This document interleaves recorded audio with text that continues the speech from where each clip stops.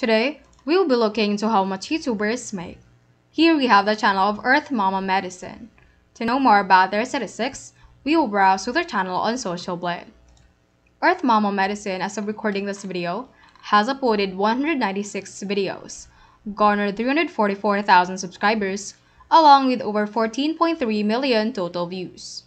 We will be checking to the YouTube analytics for the last month to have a more updated data of their earnings. We are looking for the daily average of the views, which in this case amounts to an average of 4,393. We will then be taking these numbers to the money calculator of Social Blade. Here we need to input the daily average views and the CPM.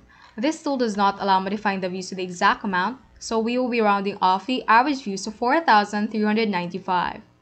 As of the CPM, this stands for cost per mille meaning cost per thousand views. It ranges from less than a dollar to $10, and the amount will depend on which country the video is played, how long the audience watches advertisement, if a viewer clicks on an ad.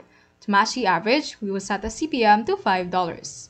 Since you have already got the data on the calculator, we see an estimate of $21.97 for the daily earnings, $659.25 for the estimated monthly earnings, and $7,911 for the estimated annual income. But it does not end here.